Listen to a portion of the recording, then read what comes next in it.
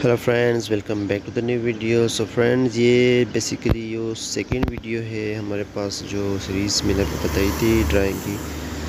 सो so, ये next drawing है हमारे पास क्या कॉलम लेआउट है? Basement column setting out so इसमें आपके पास क्या होता है? जो भी चीज़ें नीचे से स्टार्ट हो रही है फॉर एग्ज़ाम्पल कॉलम है या फिर वॉल है कोर वाल है या रिटर्निंग वाल है इसे दोनों यहाँ पर हमारे पास दिखाई देगी ठीक है? सो आपने राइट साइड में देखना है कि ये हमारे पास कौन सी ड्राइंग है। ड्राइंग के बाद आपने चेक करना होगा, इसमें कौन कौन सी इन्फॉर्मेशन मिल सकती है। तो इसमें बेसिकली आपको कॉलम का लोकेशन कॉलम का जो है पोजीशन और वाल्स जो कोर वाल्स है, इसका पोजीशन उसकी लेंथ और उसकी हमारे पास जो अलाइनमेंट है, वो आपको मिल जाती है, ठीक है? सो आप यहाँ पे देख ले रिटेनिंग वाल और ये 300 हंड्रेड mm थिक रिटेनिंग वाल है। अभी ये क्या है? हमारे पास रिटर्निंग वाल है। ये चारों तरफ़ पे बनता बनता है। अगर हमारा, हमारे पास बेसमेंट है किसी बिल्डिंग में तो आपने लाजमी तौर पर हमारे पास रिटर्निंग वाल बनाना है, ठीक है? रिटर्निंग वाल का फ़ंक्शन आपको पता ही होगा कि हमारे पास इसका फ़ंक्शन ये है कि ये रिटेन करता है प्रेशर ऑफ़ साइल को। सो चारों तरफ़ से जो भी प्रेशर आएगा सॉइल का ये उसको रिटेन करता है, उसका लोड बिल्डिंग पे नहीं आने देता है, उसका लोड उठाता है। और हमारे पास ये आरसीसी वाल भी है सो इसकी वजह से पानी भी नहीं आ सकता, ठीक है?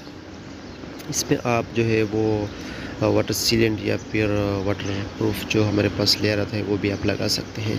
तो इसकी वजह से वाटर पेनिट्रेशन भी नहीं हो सकेगी, ठीक है? सो आप देख रहे हैं यहाँ पे कोई कॉलम है, यहाँ पे कुछ दो कॉलम है, कुछ एक है वाल भी है। सो ये कोर वाल है एक, यहाँ पर हमारे हमारे पास जो है स्टेयर्स के लिए है, ठीक है?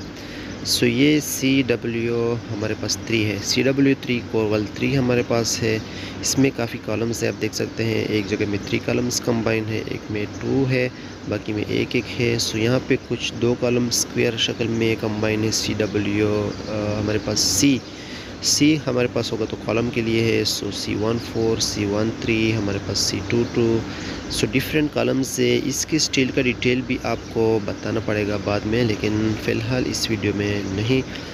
इसमें आप कॉलम लेआउट ग्रिड्स के हिसाब से आप देख लें। ये देख आप कॉलम के साथ गिवन है कि कॉलम को आपने कैसे लोकेट करना है। ग्रिड से इतना आपने जाके फॉर एग्ज़ाम्पल ये टेन थ्री टेन एम और इस साइड में टू हंड्रेड एम इस करके आपको जो है एक कॉर्नर मिल जाता है कॉलम का। तो कॉर्नर के बाद आप जो है फुल कॉलम को लोकेट कर सकते हैं। बाकी सो उसके बाद जो है फुटिंग की लोकेशन आती है, जो ड्रॉप पैनल्स है, उसकी भी लोकेशन होती है। और हमारे पास रिटेनिंग वॉल्स है, उसकी भी अपनी लोकेशन है। सो ये ग्रिड के साथ गिवन होता है कि आपने इस ग्रिड से कितना आगे जाके, कितना एम एम या सेंटीमीटर जाके आपको लोकेट करेगा ये। सो ये एक दूसरा कोरवाल है। ये भी हमारे पास स्टेयर्स के लिए है। दो जगह में कोर वाल स्टेयर के लिए है और एक लिफ्ट के लिए है।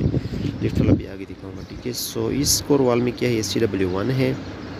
इसमें डोर्स भी है।